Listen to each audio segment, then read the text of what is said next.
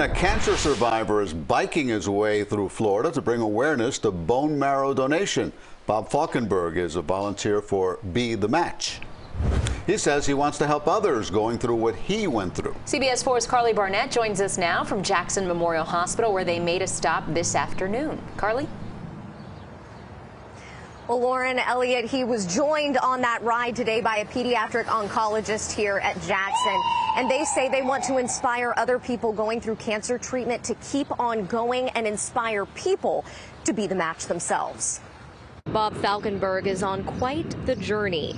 Started in uh, Jacksonville at Mayo Clinic in Jacksonville.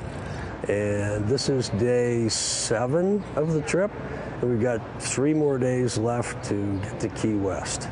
He's biking 600 miles to raise awareness and funding for bone marrow donation. For him, it's personal. 13 years ago, I was diagnosed with a very aggressive form of leukemia.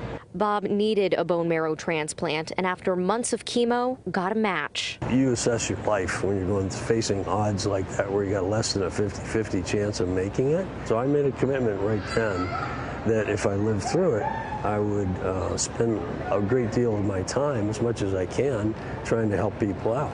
And he's been able to do that through By the Mile benefiting Be the Match. From Colorado, he's visiting as many transplant centers as possible by bike.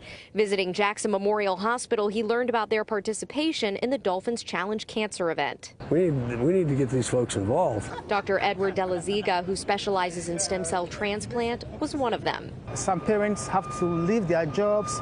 They go through a lot of socio-economic issues and uh, if I can ride a few miles, um, have a few body aches, and raise some money for them, I think I want to do that.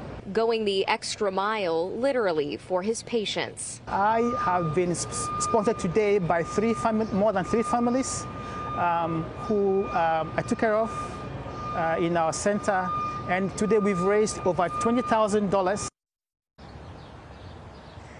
Pretty incredible there. And they say one of the messages that they want to get out is for people to register, particularly people who are African American, Latino American, or Asian American, because they say those communities are traditionally underrepresented on the registry.